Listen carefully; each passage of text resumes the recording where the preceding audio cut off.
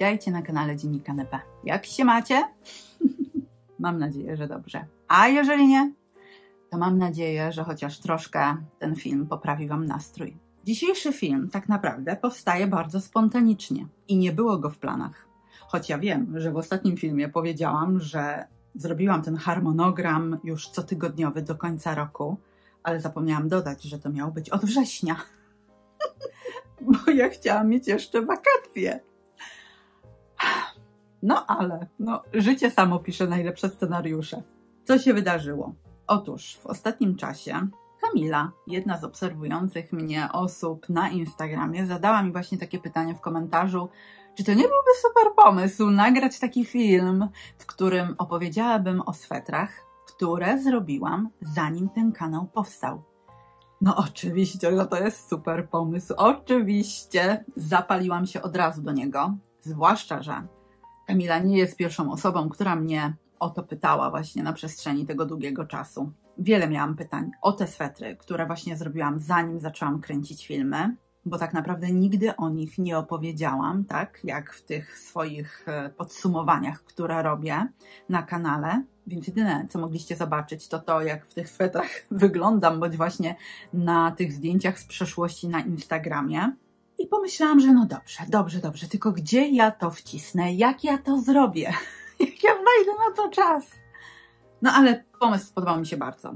I no, jedyna możliwość to, to właśnie teraz. Teraz zrobić ten film. No a jak już sobie pomyślałam, no już dobra, jak już robię w tym tygodniu ten film, no to już w przyszłym tygodniu film też się pojawi. No a później już jadę z moim planem, który zrobiłam właśnie do końca tego roku. No a wiecie, no ja muszę te plany robić, kochani, bo ja bez tego to, no nie wiem, jak ja bym sobie poradziła. Wiecie, w ferworze codzienności. No mam rodzinę, dwoje małych dzieci, życie się normalnie toczy. Poza tym pewne sprawy no, muszę wcześniej zaplanować, jeżeli chcę powiedzieć o konkretnej jakiejś sytuacji związanej z danym swetrem, z danym projektem, z daną włóczką. Będę też testować włóczki z Holstgarn. Tam też już mam plan, jak to po, postanowiłam wszystko w czasie rozłożyć. Ja muszę być naprawdę dobrze zorganizowana, żeby to wszystko wychodziło mi tak, jak sobie to wymyśliłam. No i przede wszystkim, żeby te filmy y, miały sens, żeby były po prostu dla Was ciekawe. No dlatego dobra, no, no jedziemy, jedziemy z tematem, kochani. I dzisiaj będzie film o swetrach, które zrobiłam, zanim kanał powstał. Niestety, no nie jestem w stanie Wam w dzisiejszym filmie opowiedzieć o tych wszystkich swetrach. Wybrałam cztery, które wydaje mi się najbardziej Was interesowały. Najwięcej pytań o nie dostawałam w przeszłości. Mam nadzieję, że to, co Wam opowiem o tych swetrach, o włóczkach, jakie zużyłam, mam też propozycje, z jakich włóczek alternatywnych można byłoby jeszcze te swetry zrobić. No mam nadzieję, że to będzie dla Was coś interesującego, jakaś wskazówka, inspiracja i mam nadzieję, że faktycznie ten film Wam się przyda. Zwłaszcza, że są to projekty, myślę, takie już troszeczkę nawet rzekłabym kultowe, bardzo popularne, popularnych projektantek, więc myślę, że będzie to faktycznie coś ciekawego.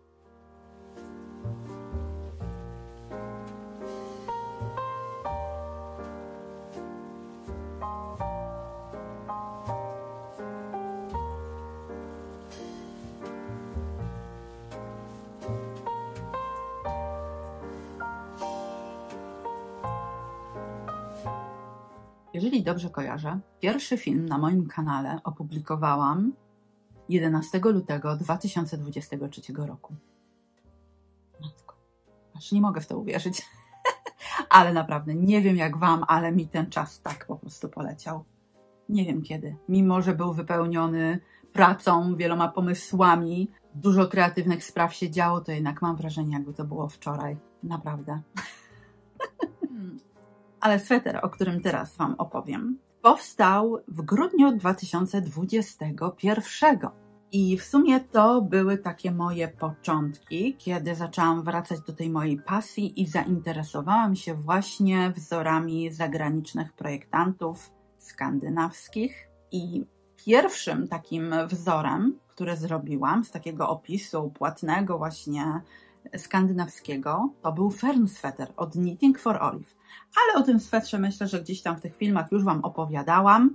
Jeżeli macie ochotę, no to ja zawsze serdecznie Was zapraszam do przeszłych filmów, żeby obejrzeć sobie, przypomnieć. Jako drugi wybrałam sweter, który wydawał mi się wtedy no dość taki ambitny i w sumie taka byłam, wiecie, nie do końca pewna, co z tego wyjdzie, ale ja jestem taka, że ja bardzo lubię się rzucać na głęboką wodę, zwłaszcza jeżeli chodzi o te moje pasje. I ja muszę mieć wyzwanie. No i ten sweter był na tamten czas dla mnie wielkim wyzwaniem. Mam na myśli tutaj sweter z projektu N. Wenzel Cardi V Neck.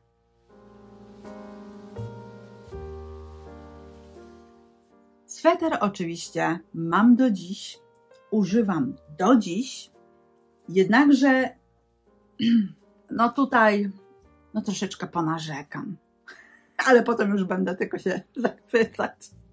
Znaczy ja oczywiście żartuję, kochani, ale jeżeli chodzi o fason tego swetra, to jest naprawdę bardzo specyficzny i ja na tamten czas nie zdawałam sobie do końca sprawy, jakby dokąd mnie to zaprowadzi, co ze sobą to przyniesie. Sweter jest robiony od góry, od tylnej części, tutaj od karku, są kształtowane ramiona, później oczywiście zaczynamy jeden przód, drugi przód, łączymy wszystko na druty dookoła, dorabiamy rękawy, tak w wielkim skrócie. Ale oczywiście pojawia się przepiękny wzór, który no, no myślę, że jest bardzo znany i to jest naprawdę stary wzór, robiony już na wszelkie możliwe sposoby. Coś takiego jak um, ala plaster miodu. To nie jest tak, że N wymyśliła ten wzór, ona po prostu go wykorzystała w swoim swetrze i pięknie się to prezentuje, naprawdę przepięknie. Jednakże um, zacznę od tych wad, a wadą moim zdaniem jest tutaj konstrukcja, a raczej Coś tutaj nie zagrało moim zdaniem. Coś tutaj nie zagrało, ale być może ja coś źle zrobiłam. W sumie tego nie wiem. Bierzcie poprawkę na to, co teraz będę mówić. Jakie są po prostu moje refleksje po tak długim czasie użytkowania tego swetra, po tym jak go zrobiłam i no teraz z perspektywy czasu, kiedy już za sobą no mam kilkadziesiąt udziergów, więc dla mnie podstawowym jakimś błędem tutaj, e, który się pojawił, to jest to, że po założeniu tego swetra, mimo że zastosowane tu zostały techniki, które mają na celu jakby wymodelowanie tej całej linii ramion, to jednak sweter podnosi się cały przód do góry, z tyłu obniża i to się wszystko ciągnie. Najgorsze, co się dzieje, to to, że ten przód zaczyna sterczeć. Po prostu on się tak odgina do przodu jakoś dziwnie, całkowicie sweter traci fason. Nie wiadomo, co to jest. Jak jakiś taki bezkształtny namiot. Naprawdę, bardzo mi się to nie podoba. No, wiecie, ja wtedy, na samym początku, i myślę, że no, wiele z nas, tak, o, o, osób, które po prostu zaczynają gdzieś robić na drutach, a na przykład nie mają za dużo wiedzy krawieckiej na temat tego, jak odzież powinna w ogóle zostać skrojona, bo to się także tyczy dzianin, nie tylko rzeczy szytych, no to powiedzmy sobie szczerze, nie do końca wiemy, co tak naprawdę robimy i co się dzieje. Dopiero później, kiedy już nabieramy wiedzy, to nawet czytając wzór, nawet nie robiąc go, już wiemy, tak, że tutaj jest coś nie tak, że to nie wyjdzie, że to nie będzie pasowało. Myślę, że no właśnie tutaj jest taka sytuacja. Dzisiaj możliwe, że już bym wiedziała, co się święci w momencie, kiedy zaczęłam już robić, zaczynałabym robić ten sweter. No wtedy byłam przeszczęśliwa, że wychodzi, że, że sweter wygląda przepięknie. No i oczywiście włóczki, które wybrałam, dały mi ogromną satysfakcję, ale to zaraz do tych włóczek dojdę. A jeżeli chodzi właśnie o konstrukcję, o te techniczne sprawy, no to uważam, że ten sweter po prostu jest nieprawidłowo zaprojektowany, gdyż to nie jest tak, że tak miało być. Ta dzianina po prostu w ogóle się nie układa tak, jak powinna. Oczywiście jest to zarzut i mm, nie boję się tego powiedzieć, bo projekty, które ktoś decyduje się sprzedawać, są produktem, który powinien spełniać oczekiwania klienta. To nie jest tak, że możemy zawsze tak tłumaczyć projektanta, tak miało być, albo że to fajnie wygląda. No nie, albo odzież jest dobrze skrojona, dobrze zaprojektowana, albo nie, i później po prostu musimy jakoś z tym żyć, jakoś to nosić. No w tym przypadku uważam, że N no nie, nie, nie przemyślała tego zbyt dobrze. Ten, ten sweter naprawdę źle się układa, źle się nosi. Oczywiście, no ja jestem zadowolona z tego swetra na tyle, na ile jestem jakby w stanie być zadowolona. Używam go zimą bardzo często, bo jest to sweter taki, wiecie, w stylu przytulaśny, taki koc, w którym no naprawdę jak jest zimno, no to aż miło go założyć, otulić się nim. Jest bardzo przyjemny ze względu właśnie na te włóczki, które wybrałam, a właśnie wybrałam tutaj bo tu są aż trzy nitki. To jest zaprojektowane na trzy nitki, w tym dwie nitki moheru.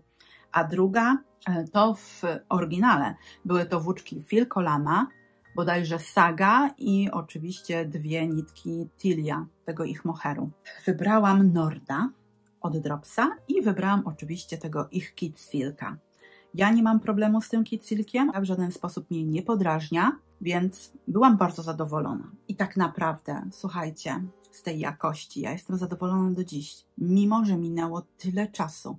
Ja go prałam wiele razy, bo on był naprawdę noszony tak intensywnie i za każdym razem odzyskuje swój piękny wygląd. Jest nadal puszysty, włos jest bardzo gęsty, bardzo długi.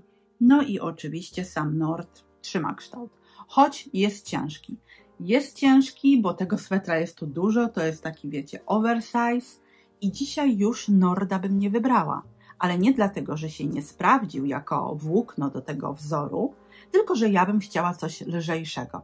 I dziś, gdybym miała robić kardifaunek, choć dziś już naprawdę bym tego wzoru nie wybrała, bo no chyba, żebym po prostu już robiła jakieś swoje poprawki, tak? Wiedząc to, co wiem, no to tak, tak go robić, żeby ten problem z tym właśnie podnoszeniem się do góry i odstawaniem może mi się uda to pokazać e, na, na przebitkach, jak on odstaje, co tutaj się robi, co tutaj się tworzy.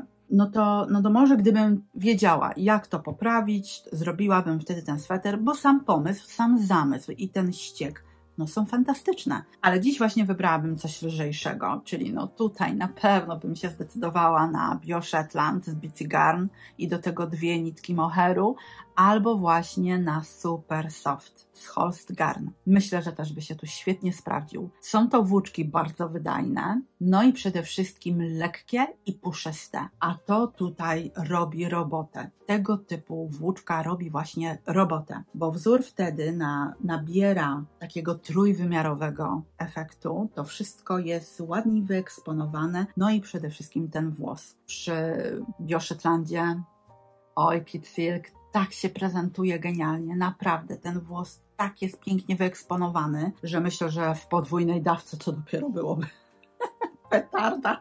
Ja dzisiaj bym zamieniła te włókna na pewno. Ale to, co mogę Wam powiedzieć, nie jest to wzór po prostu dobrze napisany. No nie, nie jest, naprawdę. Dziś po tylu swetrach, które zrobiłam z tych płatnych projektów, no nie. Nie, niestety nie. Ten akurat nie. Są tu jakieś błędy, które trzeba byłoby poprawić, żeby ten sweter był prawidłowo skonstruowany. Jednakże był to właśnie jeden z moich pierwszych udzierków. Ja wtedy nie widziałam w tym problemu. Ja wtedy byłam bardzo wyrozumiała. No powiecie, bo to tak jest. Jeżeli jest się początkującą dziewiarką, to naprawdę cieszy każdy drobny sukces i to jest super. I tak powinno właśnie być. Ale w miarę, jak się nabiera doświadczenia, jak no już nie jeden sweter się zrobiło. Mało tego, człowiek sam zaczyna myśleć o tym, co mógłby zmienić, poprawić, żeby to lepiej wyglądało, no to już później projekty, w których są takie błędy konstrukcyjne, no rażą, po prostu rażą, to już jest niewystarczające, to już po prostu nie jest profesjonalne. Więc czy ja bym polecała tak naprawdę ten przepis, ten wzór? I tak, i nie, bo z jednej strony jest to fajny projekt, cały zamysł jest super, no ale z drugiej strony są te błędy konstrukcyjne, które sprawiają, że ten sweter nie ma kształtu takiego, jak mieć powinny, a wręcz jakiś dziwny. No nie, słuchajcie, nie, dochodzę teraz do wniosku, że nie. Ja nie mogę polecić tego wzoru, mimo że N bardzo lubię i jej projekty i widzę, jak ona sama się w tych projektach rozwija, tak? Bo to też jest jeden gdzieś z jej starszych wzorów. Teraz już troszeczkę inaczej projektuje. Teraz, kiedy na przykład w ostatnim czasie wykonałam jej wzór na ten cardigan Carla Cape, no tam no, widać, że zrobiła ogromne postępy jako projektant, że już zdaje sobie sprawę, jak tą dzianinę kształtować, żeby ona była wygodna w noszeniu żeby ona była prawidłowo skonstruowana, tak jak odzież powinna być skonstruowana. Więc ona też, jak każdy z nas, uczymy się, prawda? Uczymy się, rozwijamy się. No ale no nie, nie, faktycznie nie mogę z czystym sumieniem polecić e, wzoru Cardiff Neck, mm, no bo jednak nie jest to profesjonalna dzianina, nie spełniła tak naprawdę moich oczekiwań i nie mogę się tak nią zachwycić, tak jak innymi się zachwycam.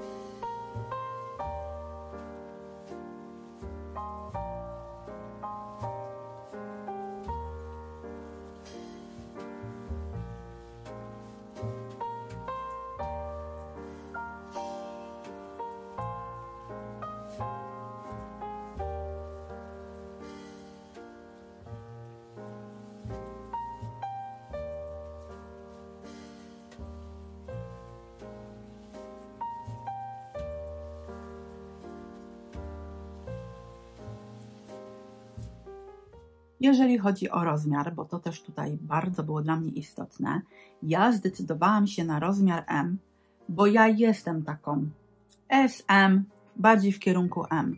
Ja mam ogromny problem, żeby wśród właśnie tych wszystkich projektów, które zrobiłam na przestrzeni czasu, no tak dobrze wstrzelić się w rozmiar. Naprawdę mam z tym ogromny problem. Albo coś jest za małe, albo za duże i, i to nie chodzi o próbkę, bo ja tutaj to sprawdzam ale no faktycznie gdzieś te opisy nie zawsze są profesjonalnie zrobione co do wyboru rozmiaru.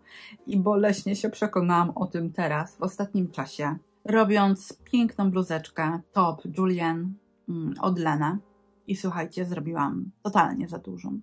Totalnie za dużą bluzeczkę zrobiłam, mimo że sugerowałam się wskazówkami projektantki co do wyboru rozmiaru, tak aby mieć potrzebny luz. Wyszła totalnie za duża, ale zrobiłam ją i mam nadzieję, że mojej mamie się spodoba, że będzie na nią pasowała, a dla siebie zaczęłam robić nową. no tak to jest z tymi rozmiarami, tak to jest e, z tymi opisami, że nie wszyscy robią to profesjonalnie, tak jak to powinno być. No i tutaj akurat to jest fason oversize. Ja wybrałam tą MK no, żeby było tak, wiecie, bezpiecznie. Byłam świeżakiem. Ja nie zdawałam sobie do końca sprawy z tego, na ile właśnie wiarygodne są te podawane wymiary, na ile to się przekłada na tą rzeczywistość tak, jak powinno. No i oczywiście sweter wyszedł gigantyczny. Bardzo duży, bardzo szeroki, bardzo duży, chociaż akurat tutaj to jakby nie przeszkadza, bo ogólnie jest to oversize, ale pewnie byłabym bardziej zadowolona, gdybym jednak no, wybrała tą eskę. No, z pewnością. No i oczywiście zużycie włóczki byłoby mniejsze.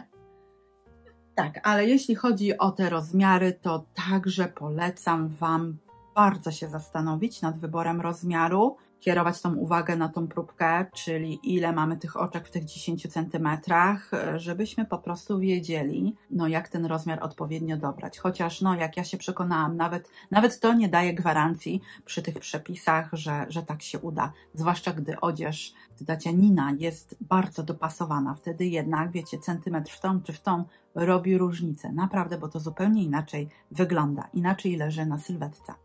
No dobrze, a teraz już będę się tylko zachwycać kolejnym swetrem, który naprawdę dziwię się, że ja w ogóle się zdecydowałam, żeby go zrobić w tamtym czasie. To jest sweter Jenny od Petit Knit.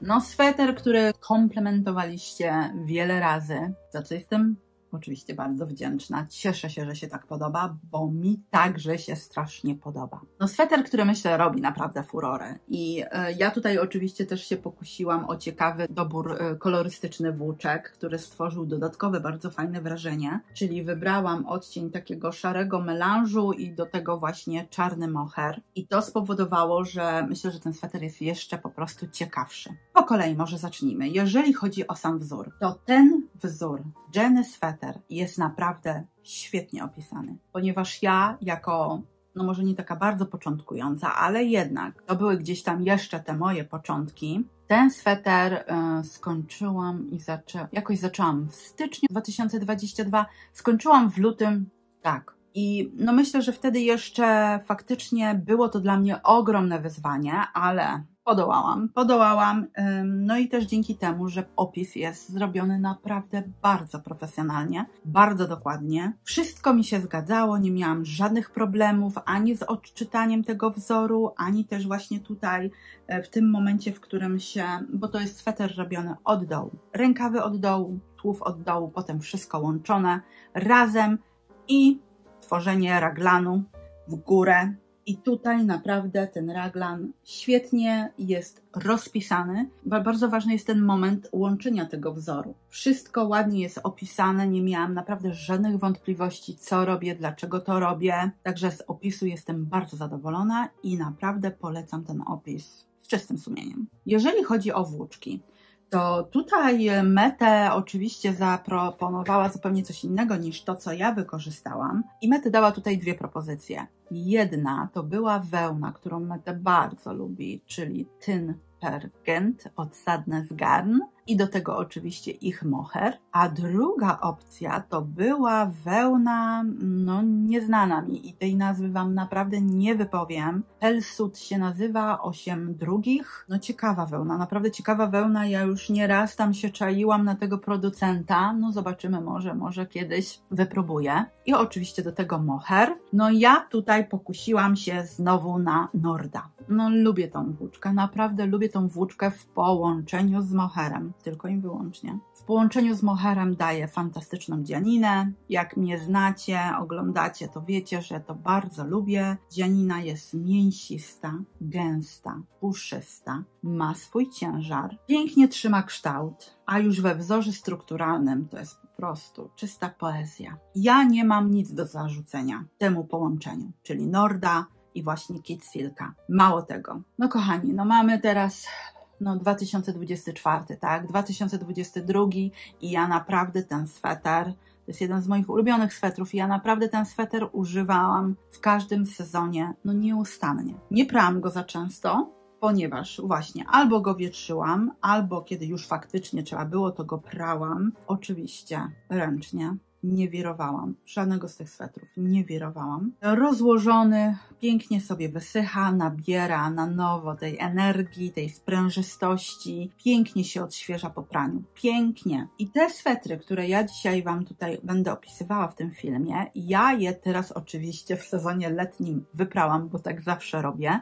Kiedy jest bardzo ciepło, kiedy jest lato, to każdy mój sweter jest prany, żeby właśnie dostać tego zastrzyku. No szybko schnie, co jest idealne dla włóczki, dla wełny, więc to jest dobry pomysł, żeby latem, ale pamiętajcie w cieniu, żeby po prostu sobie wybrać te sweterki i odświeżyć. One wtedy szybciutko wysychają i to jest, to jest dobry pomysł. Więc tutaj naprawdę ja nic z tym swetrem nie robiłam. W sensie ja go tylko wyprałam. Nawet żadnych tych kłaczków z niego nie ściągałam.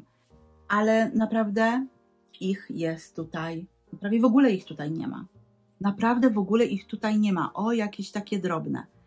Ja jeszcze jak zakończę nagrywanie, nagram Wam te swetry, które będę Wam teraz puszczać tutaj w tle, jak one wyglądają naprawdę tylko i wyłącznie po praniu żadnego czyszczenia, żadnych zabiegów pielęgnacyjnych na nich nie robiłam. Zrobię to dopiero później, ponieważ chciałam Wam pokazać, że naprawdę jakość tych włóczek no nie ustępuje na krok tym lepszym. I jeżeli odpowiednio połączymy te włóczki, czyli tak jak ja to robię w przypadku dropsa, że zawsze łączę je, no prawie zawsze, y, z moherem, do tego piorę je ręcznie odpowiednio, je przechowuję, dbam i tak dalej. No naprawdę mam świetne swetry za niewielkie pieniądze, o super właściwościach, bo to są bardzo fajne składy. Jestem naprawdę zadowolona. I ja nie mam żadnych kompleksów z tego powodu, że są to tańsze włóczki. Nie mam też żadnego zarzutu co do samej marki Drops dla wszystkich zainteresowanych historią, pozyskiwaniem tych włókien. Zostawię Wam link w opisie,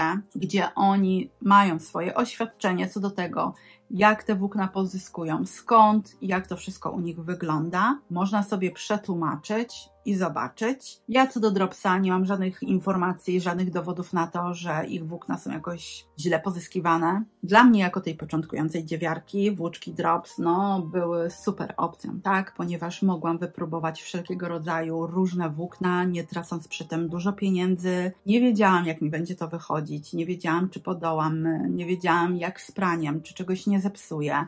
Tutaj miałam luz w głowie. A dodatkowo okazało się, że naprawdę niektóre z nich to są moje ulubienice do dziś i nie widzę problemu, żeby ich używać. Jeżeli chodzi o Jenny, sweter, bo też jest Jenny Jacket. Pamiętajcie, to są dwa różne swetry i Jenny Jacket także zrobiłam, ale tam jest zupełnie inny rodzaj. Mimo, że jest ten sam jakby wzór, jest ta sama nazwa, to tam jest zupełnie inna próbka, inne druty. Ja robiłam to na czwórkach, ja luźno przerabiam. Jest tutaj nitka moheru i nitka norda. Sprawdziło się to super. Dzianina się układa przepięknie. Oczka są tak zwarte, jak powinny być, czyli moher ma tutaj miejsce, żeby robić swoje czary mary, żeby dodać tej objętości. Nord się przez to mocniej też nie wyciągnął, bo właśnie przy tym swetrze no wyciągnięcie, no w sumie było żadne tak naprawdę. Ja już teraz tak dobrze nie pamiętam, bo to też był czas, kiedy ja tak zbytnio notatek nie robiłam. Nie sądziłam, że wtedy, że, że założę kanał i że te informacje naprawdę komuś mogły, będą mogły się przydać. I tak samo jest po każdym praniu. On się naprawdę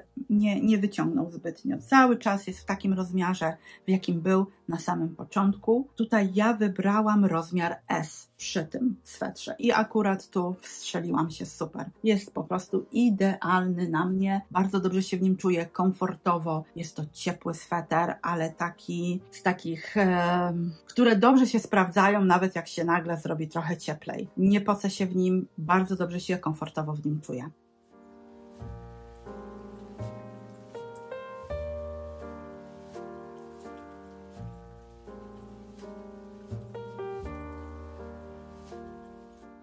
Gdybym dzisiaj miała zrobić Jenny sweter, a jest to naprawdę sweter, który z chęcią bym powtórzyła, bo robiło się to bardzo przyjemnie, jest efektowny, można naprawdę wiele kolorów tutaj tak powymyślać te łączenia, że no, no, kusiłoby mnie zrobienie. Gdybym miała tak ekstra czas i mniej pomysłów, co jest oczywiście niemożliwe, no to bym się na pewno zdecydowała. I tutaj chciałabym, żeby był lżejszy, bo jednak Nord faktycznie, musicie pamiętać, to, to, nie jest jakaś bardzo ciężka włóczka, ale jednak ten ciężar ma. I tutaj świetnie by się też sprawdził oczywiście Bioshetland jako wełna lekka, puszysta, super trzymająca kształt, bardzo wydajna, co w tym swetrze.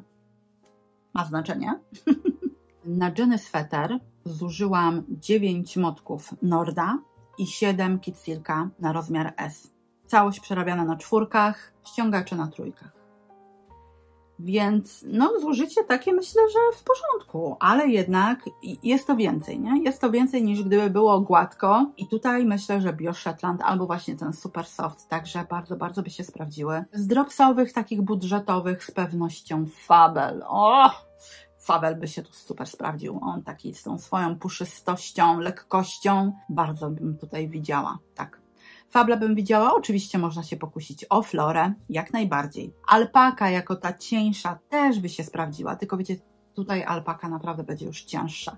Także ja Oczywiście ona będzie pasowała, jeżeli chodzi o gramaturę, ale jednak ten ciężar sprawi, że ten sweter będzie się układać inaczej. No i może nie do końca taki efekt byłby fajny, ale jest to możliwe. Można też oczywiście z tej alpaki klasycznej e, zrobić. Bardzo też ciekawą wełną jest Semilla Pura od Bici Garn. Tam w motku jest bodajże aż 350 metrów. Bardzo wydajna wełna, piękna, taka wiecie, rustykalna, w fajnych barwieniach, bardzo ograniczonych kolorystycznie. I tutaj na przykład myślę, że na ten sweter Jenny bardzo by się sprawdziła. W połączeniu z moherem, no tak, ta Semilla Pura bardzo bym ją tutaj widziała. Bardzo.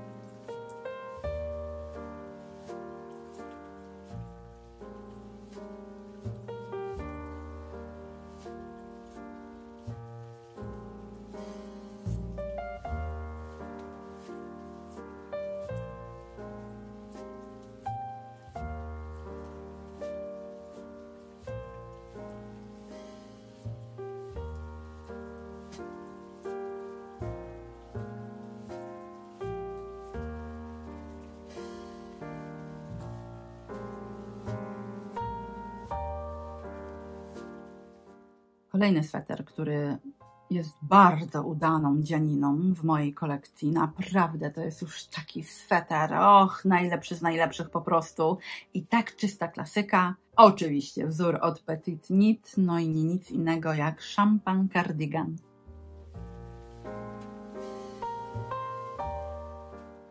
Fantastyczny, fantastyczny sweter rozpinany, piękna klasyka, dająca wiele, wiele możliwości, jeżeli chodzi o wykorzystane włókna. Naprawdę można go zrobić no, z wielu różnych, różnych wełen i włóczek. Można mieszać z moherem. Ja mam dla Was super propozycję, żeby zrobić na przykład po prostu z włóczki Air. Wyjdzie przepiękny, jestem tego pewna, zwłaszcza w tej wersji mix, tych kolorów mix, bo nie wiem, czy zwróciliście uwagę, że Air ma właśnie ten kolor tak zwany uni i mix. I te e, z tej serii Mix, one dają no taką troszeczkę inną dzianinę. Mi się ten efekt bardziej podoba w tej Air. Bardziej jestem jakoś tak tutaj zadowolona z tego wyglądu niż tych właśnie Uni. I tutaj myślę bardzo by się sprawdził jako taki przemiły, delikatny kardigan, ciepły, miękki i puszysty. Ale ja zrobiłam szampan cardigan z połączenia Soft i Kid Silka. I to połączenie to po prostu. Obłęd ciapki. A jak? To jest po prostu niezniszczalny sweter. Naprawdę. To, jak ja go często noszę. I zimą, i oczywiście zawsze, kiedy mamy te przejścia, tak? Czyli z zimy na wiosnę, z jesieni na zimę. Ten sweter po prostu jest u mnie w użyciu non-stop. Non-stop. I naprawdę on wygląda po prostu genialnie. Genialnie. Włóczkę Softweed znajdziecie w wielu ciekawych kolorach, chociaż wiem, że jest dość i tak ograniczona, ale myślę, że takie klasyczne te kolory bardzo się nadają na taki cardigan, który ma nam pasować do wszystkiego, więc na pewno każdy tam coś może dla siebie znaleźć, a bardzo ją Wam polecam, jeżeli jej jeszcze nie testowaliście, bo naprawdę w połączeniu z moherem to jest cud, miód, orzeszki. Ja jestem tak zadowolona, jak no, rzadko kiedy tak naprawdę, bo to jest, wiecie, ten mój święty gral, jak ja to lubię mówić, święty gral dziewiarski, czyli po prostu ten sukces, tak, szczyt szczytów. Wszystko się tu zgadza, czyli mój dobór włóczek plus sam wzór, przepis, ściek, wszystko dało idealną dzianinę, którą kocham nosić, która się sprawdza idealnie we wszystkich warunkach, pierze się ekstra, no po prostu chodzący ideał, tak? To jest mój właśnie święty gral dziewiarski. Rzadko kiedy udaje mi się to osiągnąć, mimo że ja jestem często zadowolona z moich y, dzianin, ale zawsze jednak staram Wam się podkreślić, mówiąc, że to ten święty gral, że to jest to takie, wiecie, to najlepsze. I tutaj naprawdę wszystko jest, wszystko jest w punkt, wszystko jest genialnie. Uwielbiam ten sweter, nie tylko za jego fason, ale przede wszystkim za te włóczki, które tu użyłam. Oryginalnie mm, szampan jest robiony, jeśli dobrze pamiętam, z Double Sunday od Sadness Garn z ich moherem. I powiem Wam szczerze, że ta Double Sunday z moherem, ona naprawdę daje świetną dzianinę, bo ja to testowałam, robiąc dzieciom terrazzo faunek i naprawdę ta dzianina jest fantastyczna z połączenia tych dwóch włókien. Jak najbardziej. No ale jednak e, cena Double Sunday, czyli tej Merino, dla mnie jest za wysoka. Zdecydowanie ta włóczka nie jest tej ceny moim zdaniem warta i można znaleźć wiele tańszych, bardzo dobrej jakości włóczek, która się tutaj także sprawdzi. Myślę, że tutaj można się zdecydowanie pokusić, jeżeli chodzi o taką wersję budżetową, no właśnie o Dropsa i o Daisy. Daisy Tamerino w połączeniu z Kid Silkiem da na pewno świetny szampan cardigan, co do tego nie mam wątpliwości. No oczywiście dla kogoś, kto lubi tweet, to ta soft tweet, no.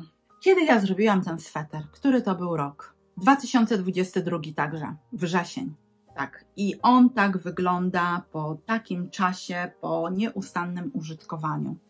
Mi nic więcej nie trzeba, naprawdę. Aha, żeby nie było. Jedyny jakiś taki minimalny mankament po takim czasie, to co zaobserwowałam, to lekkie przetarcie pod pachami, ale to dosłownie, to nawet, no nie wiem, czy to można, troszeczkę ten moher się po prostu już wytarł, w tutaj w tym momencie pod pachą, kiedy mamy największe to tarcie, no to tutaj faktycznie, jeżeli miałabym być taka y, całkowicie już y, drobiazgowa, To tak, jedynie tutaj w tym miejscu troszeczkę się przetarł. Dwa lata nieustającego prawie noszenia naprawdę sprawdził się fantastycznie. Wzór jest przepięknie rozpisany. Myślę, że to jest coś dobrego dla osób początkujących, ale mających jakieś oczywiście w miarę doświadczenie takie, że nie, że pierwszy sweter, ale bardzo łatwo jest zrobić ten sweter. Ja nie miałam żadnych kłopotów. No, robiło się go naprawdę bardzo, bardzo przyjemnie.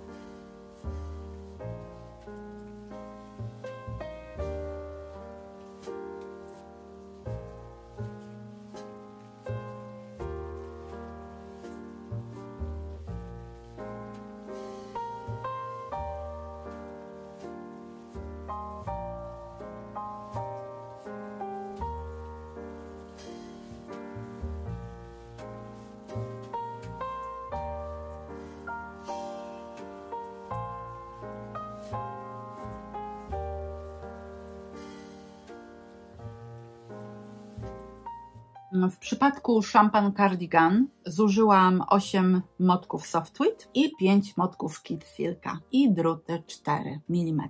To, co jeszcze bym mogła Wam tutaj zaproponować, to na przykład Loch Lomond z Bitsy Garn. Oj, bardzo by się sprawdziła tutaj ta włóczka w połączeniu na moher.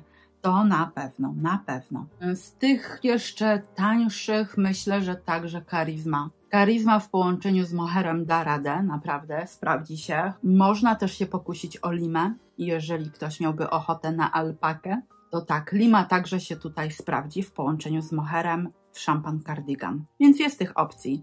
Myślę, że ogólnie warto szukać tutaj włóczek deka, które w połączeniu z moherem dadzą nam bardzo, bardzo zbliżoną próbkę, co tutaj przy tym fasonie naprawdę nie jest trudne, żeby tą próbkę dobrze dobrać.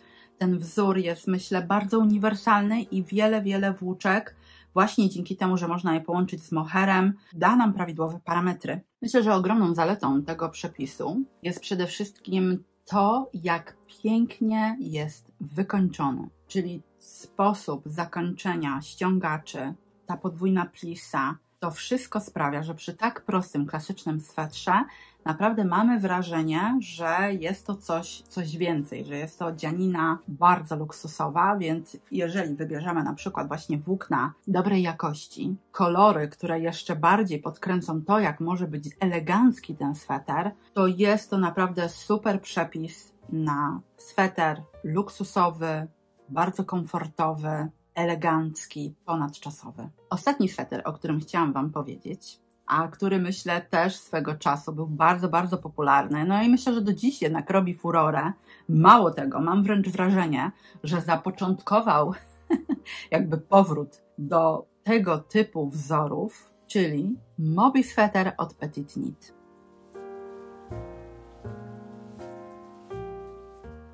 Piękne warkocze, taka, no tutaj stylistyka na te wzory, aran, Cudowny, piękny projekt, który się robi naprawdę bardzo przyjemnie, z pełnym relaksem. Tutaj mamy połączenie różnego rodzaju ściegów i ja wykonałam ten sweter właśnie z włóczki Air. I także ja go wyprałam i nic z nim nie robiłam. I tak naprawdę to tutaj tylko dopiero widać ewentualne jakieś takie małe kuleczki z mechacenia, ale wiecie, dla mnie to jest drobiazg. Naprawdę dla mnie jest drobiazg i absolutnie nie jest to dla mnie żadna wada, bo czyści się to po prostu błyskawicznie. Ja też mam taki swój patent, że jeżeli mam włóczkę, która posiada jakikolwiek włos, i tak jak tutaj, tutaj nie ma moheru, to jest po prostu czysta jedna nitka air, ale wiadomo, jest tutaj alpaka, czyli ten włosek naturalnie się pojawia, no i to jest też ten kolor z tej serii Mix, który dodatkowo ma większy ten włos. I ja, wiecie co robię, ale to musicie naprawdę bardzo uważać i delikatnie. Jeżeli macie taką szczotkę z takim średnio miękkim włosem, włosiem, to ja delikatnie wyczesuję te dzianiny. Ale naprawdę delikatnie. Absolutnie nie trę, nie szarpię, tylko delikatnie podnoszę ten włosek i w ten sposób odświeżam ten puszek. To daje naprawdę super efekty, ale rzadko kiedy to robię. Naprawdę nie widzę, nie widzę potrzeby. A sweter uwielbiam. Mobi sweter z tej włóczki Air to jest po prostu czysty relaks. Czysty relaks, komfort. Uwielbiam go nosić, zwłaszcza kiedy jestem w domu. Bo wiecie, też ja mam takie wrażenie, i myślę, że to czasy pandemii bardzo pokazały, co tak naprawdę w naszej garderobie jest wygodne i co tak naprawdę lubimy. Czyli to są ubrania, które byśmy założyli w domu, żeby było nam dobrze, przyjemnie. No i to jest właśnie taki sweter, naprawdę. Ta Air jest no, no, no jedną z moich ulubionych włóczek w dropsie. Ja na szczęście nie mam żadnych złych doświadczeń z nią. Robię ją na mniejszych drutach niż oczywiście producent zaleca, co może także ma znaczenie. No i przede wszystkim nie piorę tego w pralce, nawet najba na najbardziej delikatnym programie do wełny. Ja w ogóle, jeżeli chodzi, słuchajcie, o alpakę, to też już może się powtarzam. Jeżeli chodzi o alpakę, to ja zawsze z tymi swetrami to, to już całkowicie się jak z jajkiem obchodzę, bo ja mam takie wrażenie, że ona jest bardzo wrażliwa na wszelkiego rodzaju uszkodzenia, kiedy jest mokra. Zwłaszcza ta, ta Air, ona tak się, wiecie, jakby rozpulchnia w wodzie. I wydaje mi się, że wszelkie, nawet najmniejsze tarcia, obroty, uklepywania mogą powodować, że ta włóczka po prostu nie będzie już wyglądać tak samo, nie będzie wyglądać dobrze. Dlatego ja delikatnie go bardzo piorę ręcznie, nigdy go nie trę, nigdy nie wyciągam jakoś, namaczam normalnie w wannie, używam płynu y, do wełny, teraz obecnie mam Kulan chyba, tak. I bardzo sobie go cenię przede wszystkim dlatego, że nie trzeba wypłukiwać tego płynu. Bardzo oszczędza też wodę, to mi bardzo, bardzo odpowiada. I sprawdza się, bardzo dobrze się sprawdza. Więc ja go bardzo delikatnie piorę, odciskam nadmiar wody w ręcznik i delikatnie rozkładam, suszę na płasko. No i śmiga śmiga, jestem bardzo zadowolona i myślę, że w przyszłości jeszcze wiele swetrów zrobię sobie z Air i wiele razy o tym myślę. Za każdym razem, kiedy tak naprawdę jest promocja na tego Aira, to sobie myślę, bożeż, ja bym to wzięła, teraz bym to zrobiła i tamto. No, ale niestety, brak czasu. Brak czasu, y, ale właśnie, słuchajcie, moje dzieci. Jak wiecie z moich poprzednich filmów, mam z nimi no, dosyć spory kłopot, bo nie za bardzo chcą nosić te wszystkie udziergi, które dla nich robię ale co się okazało? Włóczka Air, tak, włóczkę Air chcą nosić. Mój syn, jak to mówi, to jest takie milutkie, mama, takie milutkie. I jemu się podoba ta włóczka. On jest zadowolony. I czapki, i szaliczki. Wszystko pasuje tylko z tej włóczki Air. Więc no, co, coś jest na rzeczy, coś jest na rzeczy. Choć wiem, że niektórych alpaka może podrażniać. No na szczęście mnie nie podrażnia, ani moich bliskich.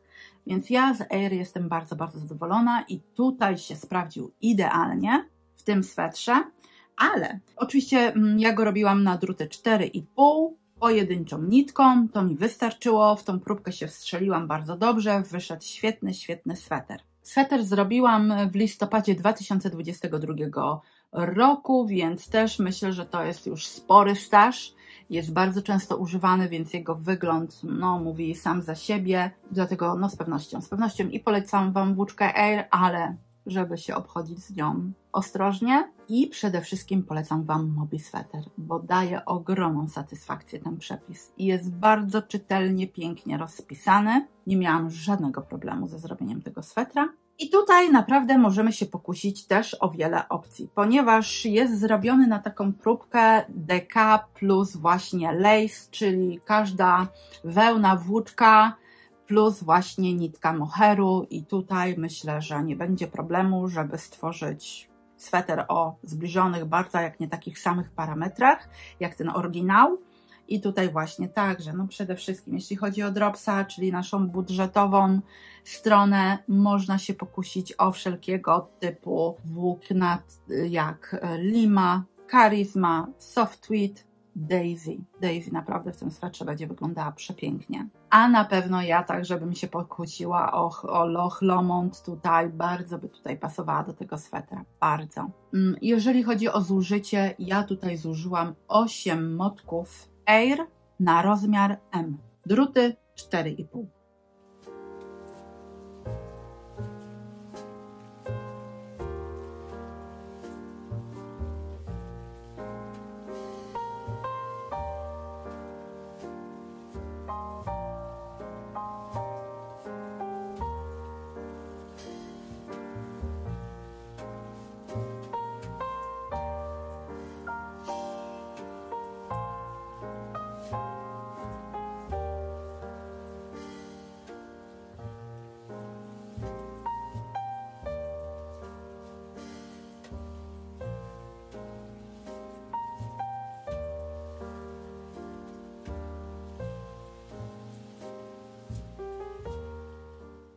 Zanim zdecydowałam się założyć kanał, naprawdę sporo tych dzianin powstało i nie wszystkie były sukcesami, ale wiele na pewno mnie nauczyły i gdzieś tam oczywiście doprowadziły mnie do tego poziomu warsztatu, który mam obecnie, do takiej wiedzy, którą mam obecnie.